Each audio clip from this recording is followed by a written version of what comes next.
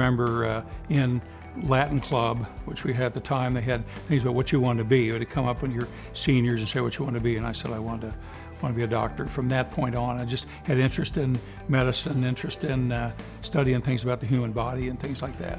Uh, I played sports pretty much all the way through basketball, football, baseball, track, not all together, but you know, the one year I did, ran track, one year I played baseball.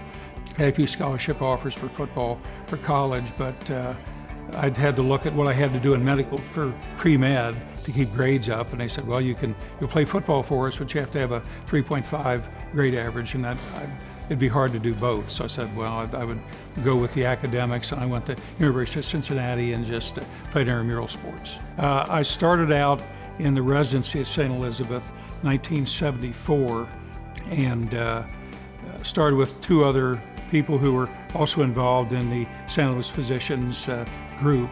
Uh, Dr. Todd Cook, who's a medical director up until recently, Dr. Jerry Dempsey, who's the current director of medical education. It was at St. Elizabeth North at the time. That's the only hospital they had. It was before St. Elizabeth South was built. The first night I remember I was on call, they said, We have a patient in ICU. This was 10 minutes into the first shift. And they said, This patient needs an IV. He has no IV sites. So good luck. You know, all the arms and legs have been used by IVs. He was a multi-accident victim, and uh, so I had to figure out where to put an IV, and that was a little intimidating, but we figured it out. I still get to see a lot of my patients. I live in Burlington, one of the areas where I practiced, Burlington, Kentucky, and I see them at the grocery and see them out, and it's really good to see uh, patients. And I've seen some since birth. I've seen some who now have children. I took care of when they were children. An interesting thing is the physician who did my total knee replacement last year, I've taken care of him since he was like four years old. So his, uh, his dad called me the night before I had the surgery and he said, Matt is scared to death. This is Dr. Matt Hummel, a great physician and did a great job for me. He says he's scared to death because you're like his second father.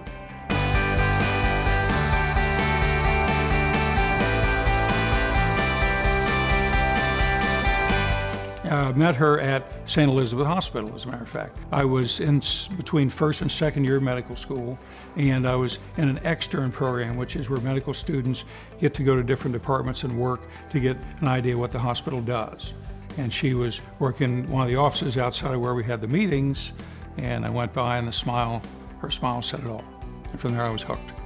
I just kind of said, uh, I think I know you from somewhere before. I didn't, but of course I, I said that. And uh, within a year we got engaged. A year of that we got married. The year, the summer before my senior year of medical school. We uh, have four daughters, Erin and Krista, they're twins. Sarah is uh, the middle child, and Ashley is the youngest. Uh, when I was 15, which was 100 years ago, uh, I have to say, like with many people, uh, the Beatles kind of was my initial group that I wanted to start playing. That's why I got into playing guitar first. I've been in a number of bands in, in past times. This is the fourth or fifth band I've been in. The current band, the name of it is Electric Daydream. And uh, we do 60s and 70s classic rock music. I'm a huge Foo Fighters fan. I know that's since the, since the 60s and 70s, but uh, I just like the fact they're all really good musicians and they really seem like they put everything into their performance. We went to the Foo Fighters concert a month or two ago in Indianapolis. It was just it was just a great concert, and they just put everything on stage, which is what I appreciate. Having been with St. Elizabeth pretty much from the start, it's always been excellent support. I've had great relationships with all the people I've dealt with, administrators, staff. The organization's been very good as far as really being very supportive of the physicians, giving us everything that we need.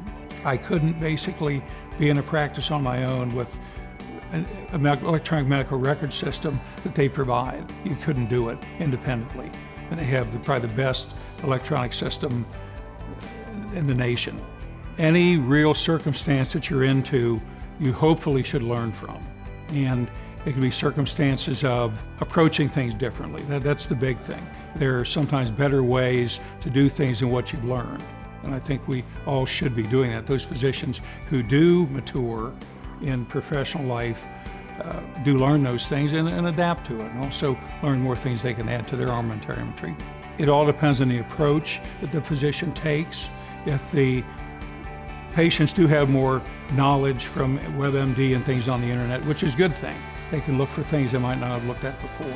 And you can't discount what they say or what they've thought about themselves. It has to be integrated in what is the whole package. With the knowledge, a patient, as I said, can give a lot of information to you and a lot of things if you listen to them.